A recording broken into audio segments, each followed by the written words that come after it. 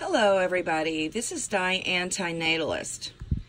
And um, I have tried for numerous times to actually um, do this video, to create this video, and I have just put it off for months and months. Now, there was an original setback because, um, like in December, um, Martin Dixon had um, has asked me to do an interview for him for the Cherwell Oxford newspaper in the UK.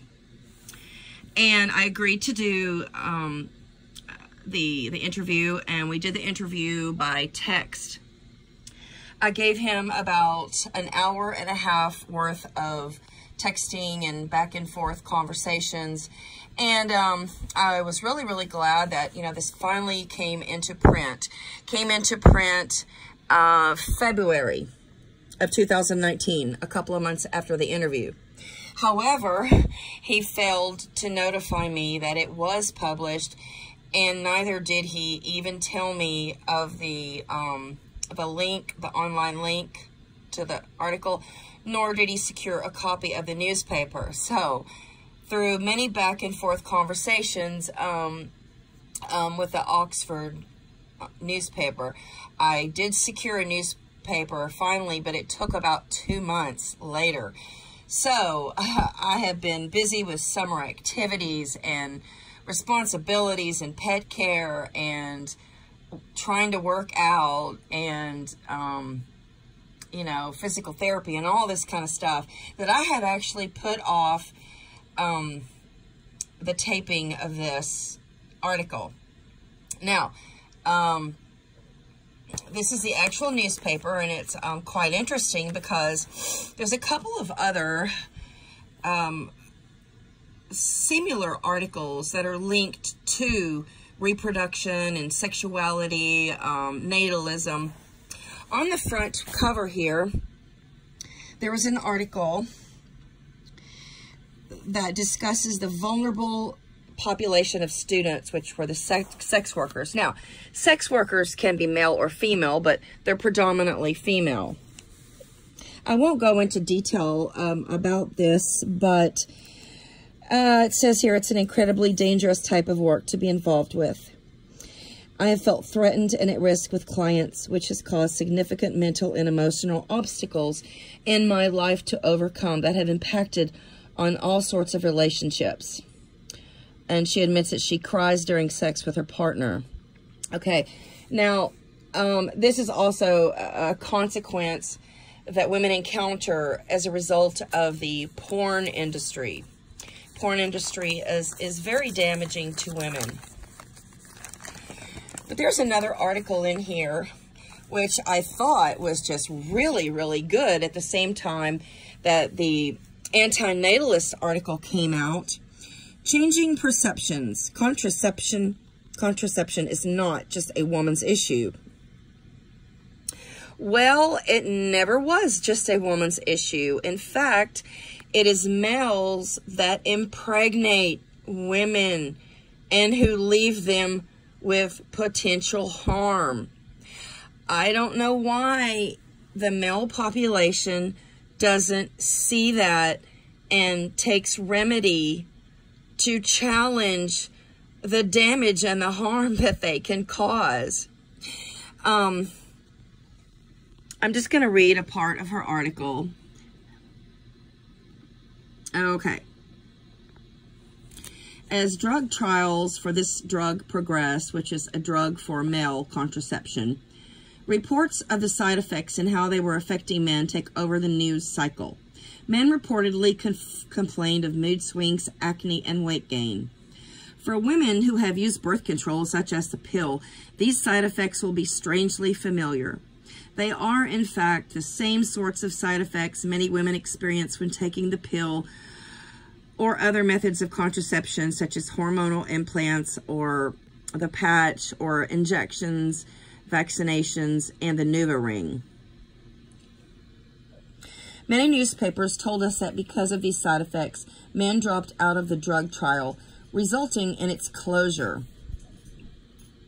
However, this was erroneous reporting.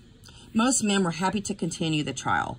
It was the trial monitors that decided to stop the trial because they were concerned about side effects men were experiencing and the medical ethics surrounding the issue. In this particular trial, 20% of men reported side effects, which led to the monitor's decision to shut it down. This would be less galling, but for the fact that in recent female contraceptive trials, 30% of women have reported side effects for the trial to be stopped.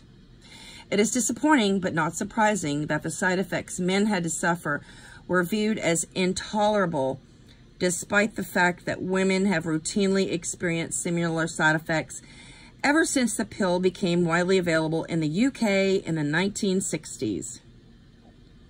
Little has changed since then, and contraception is still considered an issue to be dealt with by women and women alone. Moreover, when conducting drug trials and other forms of medical testing, we can see that the concerns and harm to women simply aren't considered as important. When I have asked cisgendered men whether they would consider a contraceptive pill if it were available, most of them have expressed a reluctance to venture into the unknown. This particular fear is based on a wide range of factors. There is the fear of putting foreign substances into their bodies. Whoa. um, I would think a fetus is a foreign body that some women just don't want to be there. The fear of how the body will change as a result of taking a contraceptive, such as acne and weight gain. Now, let me let me stop there for a moment and say that there is no more bodily change than a pregnancy. There is no more harm and inconvenience and, you know, um, suffering and um, life change than a pregnancy. I mean, I have not had a child, but it is extremely taxing on a woman's body and her mental status. And there was also a fear that a contraceptive would affect their future ability to conceive negatively. But most important of all is the sense that contraception isn't their problem because even if they won't say it out loud, men know that they won't bear the consequences if they fail to use it. Contraception is not considered to be a conversation men need to be involved in. In a society where masculinity is often highly prized, the idea of talking about contraception methods with partners, let alone friends and peers, seems unthinkable and alien to many men. You know, um, it's really, really sad because, you know, women, I mean, men potentially inflict the harm on women by impregnating them and they do not get the exchange of the same punishment and penalty of a pregnancy, an unwanted pregnancy. They deliver the harm, but they do not receive the harm.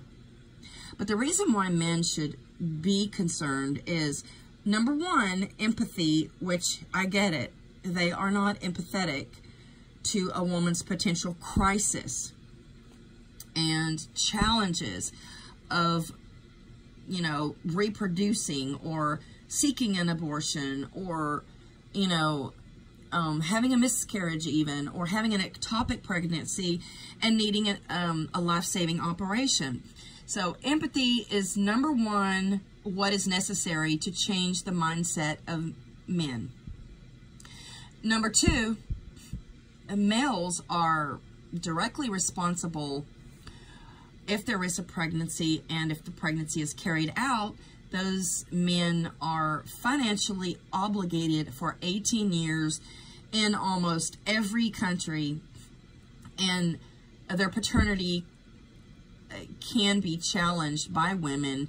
Um, they can be contested for paternity and they can even go to jail if they don't um, pay for their children, um, at least in Western societies. But, uh, so, um, I'm going to post the link to my antinatalist article um, below my video so you can read it at length and I'm going to go over some highlights of this article. Now I will say before I go into detail that the article is a bit sour. It doesn't expose antinatalism in the most positive of lights. It is um, is a bit sarcastic at times. It is condescending at times. And um, so Martin Dixon interviewed me, but he must have gotten my name somewhere through the voluntary human extinction movement, which is Let's Les U Knight's movement and organization. And he has a Facebook group, a very large Facebook group. And um, um, Les U Knight has a very sound argument. His organization and movement is very convincing and very well thought out and very comprehensive. I am a big fan of Les Knight's uh, group and his organization. And um, you can look up the voluntary human extinction movement. Um, it, it, you know, it has very well, um, a, a, very well documented um, uh, facts on the environment, on population, on humanity, and it has a little bit of a different um, tone or tune, if you will, than antinatalism. But hey, hey guys, we're all, you know, we're all for the same thing, and that is voluntary human extinction. We we are for the elimination of humanity. Um, humanity is causing harm and is being caused harm. So antinatalism just attacks things from a little bit different angle. But Les U Knight developed uh, his group and his um, movement back in the 70s. Um, and, you know, I will post a link to um, his um, website and um, I've spoken to Les before. It's been many years, but, um, you know, I'm a big fan of Les. And I don't argue with anything that he says. He's made some YouTube videos. He's very convincing. He's got a very mature and stable um, um, depiction of his views. And his views are right. His views are nothing but right. Um, I will say that this article does not mention any consulting of Les Knight whatsoever. I was a little disappointed in that.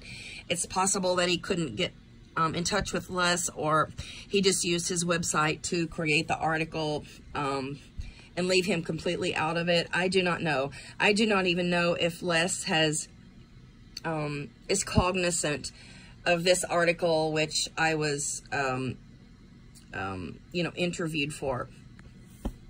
And lastly, I will say this is probably the most disappointing um, aspect about doing this article. Me and, uh, well, Martin and I conversed at length over many days, and I say it's probably an hour and a half of content that I gave him.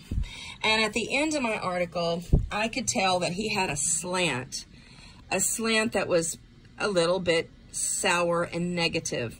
And I asked him, after doing this interview with you and hearing my perspective and, um, you know, just a comprehensive viewpoint of mine and antinatalism, do you think you're going to have children?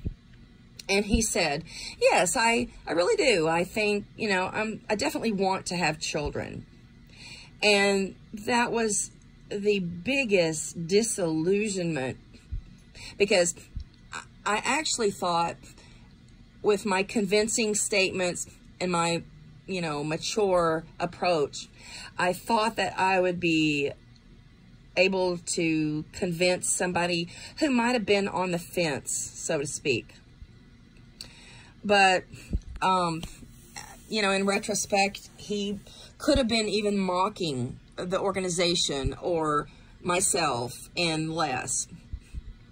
Um, but there's no more legitimate person than, than Les Knight. Um, I really, really like Les. In fact, he was one of the first people who um, lured me into voluntary human extinction, um, you know, or, organizations and um, the, the theory, the complete theory, which led me to antinatalism and, and I suppose efilism and, this, and the likes. But let me go through this article. A person would have to be delusional to appreciate existence. Life is a net negative and existence perpetuates suffering. It's just some of the festive wisdom. Diane Brandy, that's another thing. Um, he misspelled my name and I corrected my name at the end of our end, end of our interview and he didn't bother to correct it. Oh, no, she's not an Oxford student in the grips of a pre-collections crisis. She's a subscriber to the voluntary human extinction movement. The movement was given its name in 1991 by Les U Knight. Okay, it's not, he says it's 1991. I, I believe it, I thought it was in the 70s, but I have to correct myself on that. Les U Knight, its most high-profile activist to date, even his name, if you say it quickly enough, is a piece of subliminal propaganda. Well, I would have to disagree there. I think it's very catchy and I think it's um, very creative. One of the most common rumors which swirls around VHEMT is that it's a salt suicide cult. It's not. It's not even an organization, let alone a cult. Voluntary human extinction is a philosophy, a set of beliefs, lifestyle more than anything else revolving around stewardship of the planet.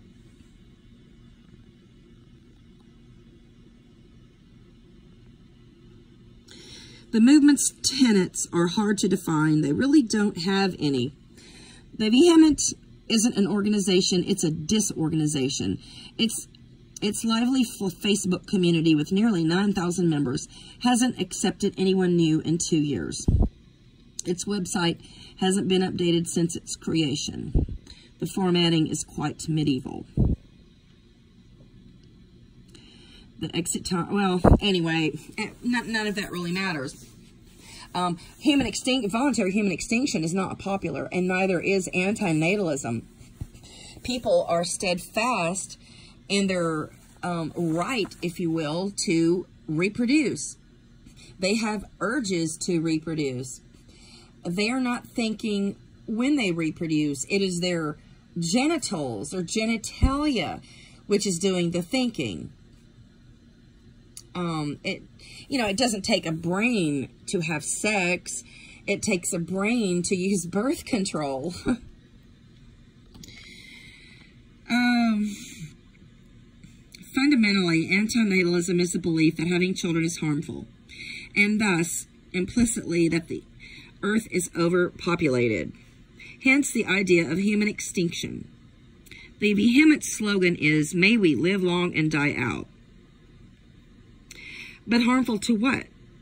While environmentalists agree humans are harmful to the Earth's ecology, some hardcore anti-natalists go a step further. Over the Christmas vacation, I spoke to Diane, um, yeah, Childfree brandy. It's not Childfree brandy at all, but he, um, it was Childfree Diane or, um, Bandy is my, the correct spelling of my name. Um, she represents many of the views on the antinatalist extinctionist spectrum. Diane left me under no illusion that humans are the cause of environmental degradation, with statements like, the only way to spare suffering to our species and that which is done to other species by mankind is to stop reproducing. And mankind has been harmed and harmful since the beginning. She's not wrong. okay, now, that has a lot of power in it. he uses a double negative and he says she's not wrong. Um, Martin will not give me the credit for being right. And people who withhold praise usually do so because they feel that giving someone else praise takes away from them.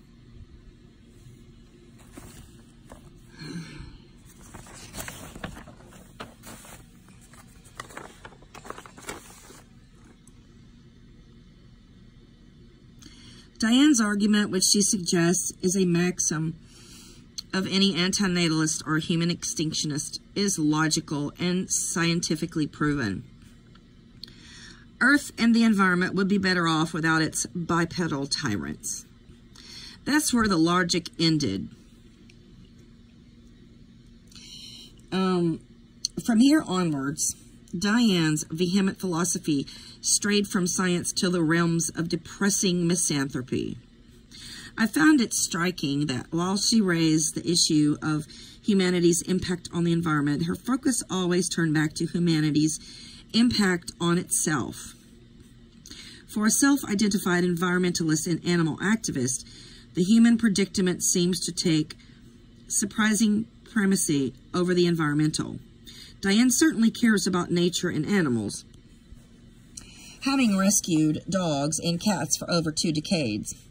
She describes them as vulnerable and voiceless, while calling her stance toward human welfare indifferent. She went on to say it's impossible to be vegan as we all inadvertently kill insects and animals. Because of massive amounts of animal slaughter globally and domestic pet euthanasia rates in my country alone, this is a major reason that I want humans to become extinct. The mention of animals and the environment seemed just interlaced into and secondary to her belief in self-perpetuated human suffering. Diane believes that voluntary human extinction, a mass absence from procreation until humankind dies out naturally, would do humans a favor as much as it would alleviate environmental problems. Well, let me pause there. What is the argument here? Because if we no longer reproduce, nobody would enter existence and become harmed. I mean, that's just so fundamental. I don't, I just don't know how to explain it any more clearly. I think um, a short sentence is, you know, quite understandable. When you reproduce, you perpetuate human harm. Uh, there, and that's no question. That that's not even arguable. um, I mean, I can say it till I'm blue in the face. And uh, people like Martin Dixon um, are, are not grasping this concept at all. And there's been many, many great antinatalists. Um, um, uh, uh, everybody knows Dana. Everybody knows Amanda. Everybody knows Matt of Life Sucks. Um, and, and those are just a few of the Americans. Um, uh, there's a host of antinatalists. Oh, oh my goodness. There's, well, right off the top of my head, I can probably think about uh, 12 names. Um, a very convincing antinatalist. And, uh, Inmendham has had videos out for years and thousands of subscribers to his YouTube channel. And he has very convincing argument, arguments. He's brilliant. So, anyway, yes, um, it would do humans a favor as much as it would alleviate environmental problems. Part of this is what Diane calls the tragedy of the birth. A central antinatalist belief that birth and procreation is selfish and negative, and that children are hauled unfairly into a world of suffering, almost as a pet for their parents to love and receive unconditional love back. The child's birth, suffering, and eventual death was not consensual, and parents should be fully accountable for their children's or their offspring's welfare and financial needs till death.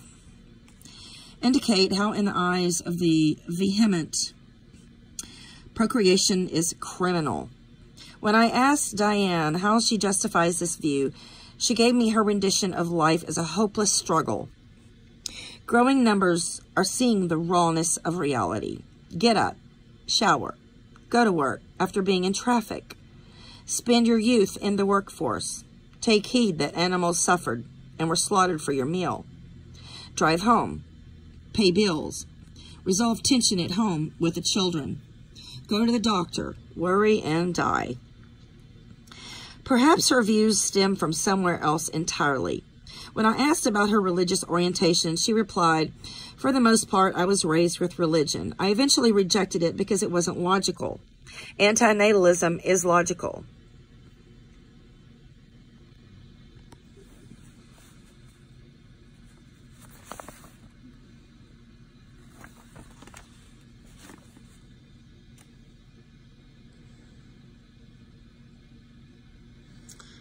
See here. Diane rejected her faith out of a pessimism for humanity, refuting religion as illogical compared to the rationality of antinatalism. Yet her own logical beliefs and some of the core ideas of religion intertwine. Now, I will pause there and say that that is his perspective. Um, he emphasizes a little bit more on the religious aspect than he should have. And I merely posted a few quotes on our interview forum, which were biblical quotes. And I have posted those quotes to um, reach the um, to reach the ears of religious folk, churchgoers, believers, I merely quoted um, some verses in the Bible that were antinatalist because many natalists and reproducers quote the only quote that I know of in the Bible that refers to reproduction, which is in Genesis, and it says, Go forth and multiply. However, a biblical scholar told me that that information was given to only Adam and Eve and not believers in general. Okay, so rather like many, her beliefs align with religion selectively. And that is true. Natalists are very selective. They cherry pick verses in the Bible that pertain to breeding, fertility, and reproduction. Many of her beliefs seem more emotional than logical. Ironically, her claim that a person would have to be delusional to appreciate existence seems itself delusional. But Diane's views do not represent that of all VHEMT supporters, and certainly not those of the movement's figurehead, Les U Knight.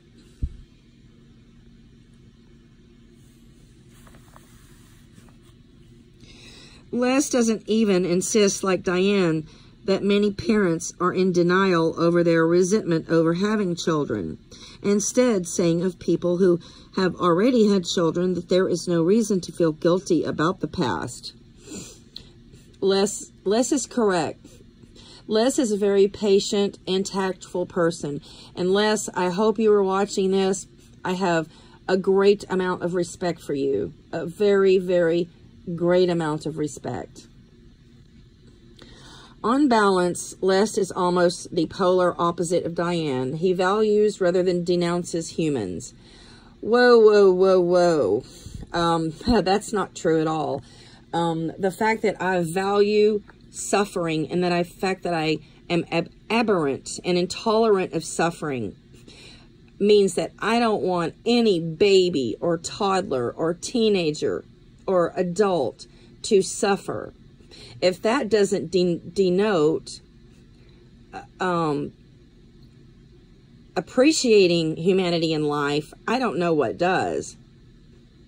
Because continuing and preserving our species, self-preservation is basically harm, and it starts off as self-harm. You are harming yourself through your children when you have children. Okay, so back to the article. He values rather than denotes humans, takes a tolerant view towards antinatalist and emits a hopefulness rather than a despair towards the human race. Uh, I don't know how you cannot have a despair towards the human race. I mean, um, what was it last week, a couple weekends ago in America, we had two mass shootings. um, you know, we have starva uh, starvation and poverty um, are in the paper every day. Um, sexual harassment, um, rape, and um, pedophilia. Yeah. Who was it? Um, what's his name? Ein, Einstein or what is his name? the, the guy that just killed himself in um, Einstein just killed himself by hanging in the prison um, because he was really facing a lot of years or life in prison because of um, sex trafficking. Yeah, that's that's that's a really good reason to lose um, hope and and have despair towards the human race. And things aren't getting better. And um, things were never good. I mean, people who follow the Bible have, you know, biblical proof from scrolls that people harmed one another. Cain and Abel harmed one another. Families harmed one another. Nature harms people. Um, people suffer. People age. People die. People get disease. In any case, the stark differences between Les and Diane's vehement views show just how vague and personalized it is as a concept. The 9,000 people in the movement's Facebook group, and perhaps many thousands of supporters worldwide, are like moths, each with their own perspective and life experience, attracted to the shining light of antinatalism. Well, the, the fact that people have different concepts from, from any philosophy is going to be true. Each and every person carries different baggage to the table, carries different mindsets.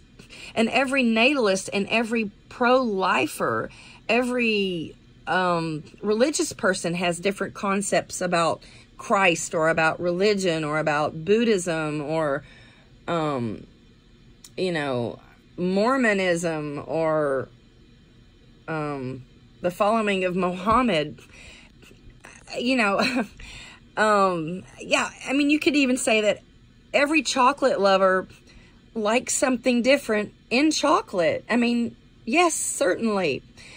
I'm a chocolate lover and I like really, really dark chocolate and I love nuts in my chocolate. But there are chocolate lovers who don't like nuts and there are chocolate lovers who love milk chocolate. So not all chocolate lovers feel the same way about chocolate, do they? Boy, what a load of crap. There is an assumption that people can just stop having children. This has more than a tinge of white middle class privilege about it. Correct. Martin, you were very, very correct about that. And perhaps sometimes our views in antinatalist groups are a little bit swayed and um, geared towards our privilege living in Western worlds. The developing world doesn't always have the privilege of readily available cheap contraception. In parts of the developing world, the deficit in female emancipation means some women cannot assert control of their own biology. State welfare for the elderly is non-existent. Children are almost a necessity. Well, he is very correct about that. And many women around parts of the world don't even choose when or if to have sex and who they will be married to. What matters is that parts of the developing world can't afford not to have children, while in the developing world, it is a matter of who can afford them. That's true in part. Ultimately, antinatalism is a luxury billions cannot afford, and the idea that everyone should just stop reproducing as simply as that feels almost pompous.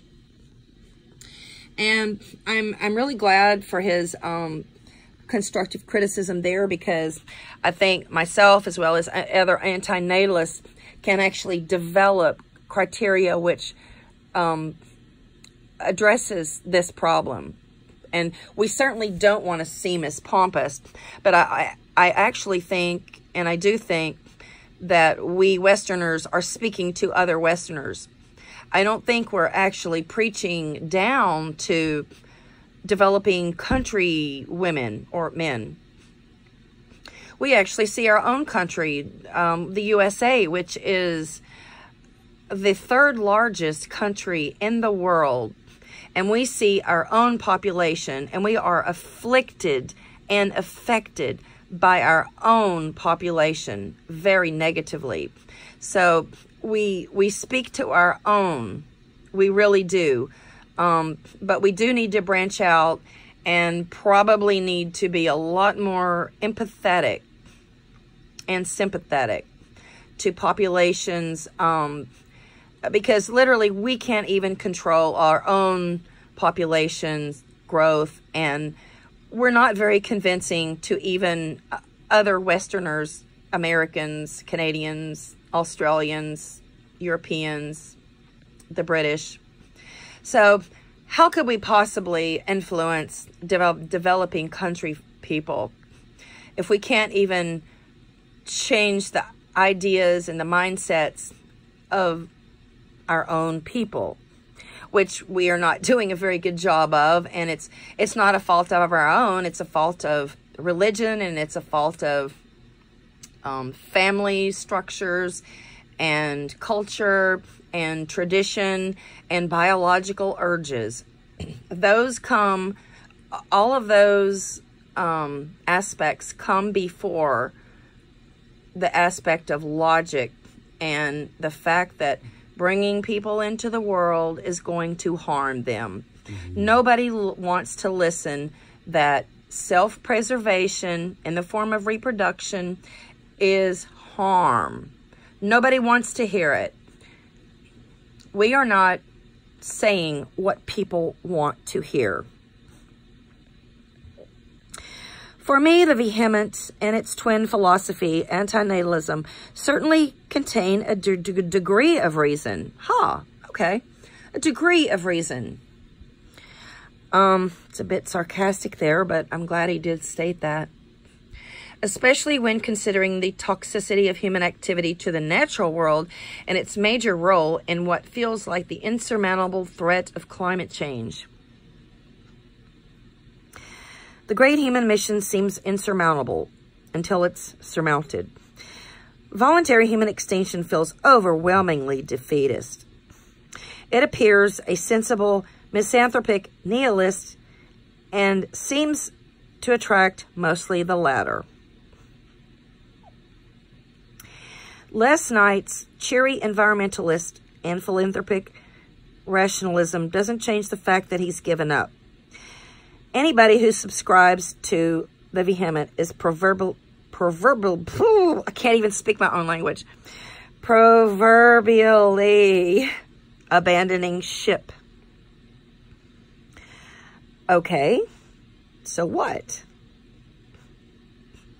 I think the fact that we're smart enough to abandon ship when it's on a wrong course says a lot for our um, our power as a species because, you know, apparently we have the, the strongest, the highest brain power. We are able to create language. We are able to um, do major harm, in fact. But as a result of our capacity to think, we also need to think and realize that our species is harming itself, harming nature, and is not going anywhere. We've got 7.5 or 6 billion people on the planet now. With so many bodies on the planet, We don't have a cure for cancer. We don't have a cure for poverty, political tension, and crime. Um, male violence is on the increase. We don't have a cure for sexual harassment, sexual addiction, um, substance abuse. We, we are just going down the pot. And it's enlightened people who can take this knowledge and actually try to convince other people that we need to abandon ship. And that's the positive and reactionary um, effect of our brain power. The fact that the fact that we realize that you know for thousands of years and for generations and generations that we are not any better off than where we started from. Yes, we are more progressive. Yes, uh, you know, we have the potential to use the internet. We have the potential to go to colleges and learn many things and to travel and to um, invent cures for certain things. And, um, you know, we have scientists and we have doctors and we have, um, yeah, we have a whole host of people who are you know, who correct human ills and diseases. But we are no better off than we were in the very beginning because we just have a new set of problems to tackle. So um, it's the continuation of the species that's harmful. Abandoning ship is not harmful. So this is my rebuttal to Martin Dixon's um, um, long article. I will wrap it up by saying here, though the, though the movement is by no means organized or popular, it is international and highlights an intensifying pessimism towards our environmental predicament. Pessimism isn't productive and hardly the remedy needed to combat climate change and pressure on national resources. Well, adding up to 8 billion people on the planet is not productive either. It's counterproductive. It's impeding our progress and productivity. And uh, it's defeatist. Um, the fact that he considers antinatalism defeatist and abandoning ship um, actually reproducing into a frenzy is defeatist. And humanity is going down whether it voluntary, voluntarily extinguishes itself or not. Nature will curb human population. Instead of turning to movements grounded in unproductive, self-pitying, and often very questionable philosophy, this generation needs to devise a solution, or at least a mitigation to threats such as climate change, be it scientific, social, or political. It's either that or pick up a Slipknot album from HMV and book that vasectomy. Your choice. Uh-huh. well, and this is a photograph of Les U Knight, or Les Knight is his um, given name, I believe. Um, Martin Dixon, you know, had a sarcastic and rather snide um, impression, um, you know, of, of my interview, after my interview, and of antinatalism and voluntary human extinction. But um, unless we do abandon ship, um, we are definitely defeating our own species. And I think it's best to surrender and hold up that white flag while we have our dignity, while we have a chance to do it on our own. Who wants to be defeated by nature or by a war, perhaps, or some other kind of cosmic or, um, you know, man or even a man-made um, um, detriment that, that wipes us all out. Isn't it best to, to hold up the flag and say, hey, we know that we should stop reproducing. We know that we've caused harm. We know that bringing children into the world exposes them to countless vulnerabilities and um, indescribable events and unpredictabilities. Isn't it best to say, you know what? We're, we're just going to surrender. We're going to peacefully, um, we're going to live long and die out. Just like Les Knight's slogan, let us live long and die out. That is the more productive and peaceful way to go. That is the way we can die out as a species with the most dignity. So thank you for watching this long video and I will post links down below. Please subscribe and comment. Um, and um, no matter how unpopular our philosophies are, we must be outspoken. The fact that it is unpopular means that we have to speak louder and worldwide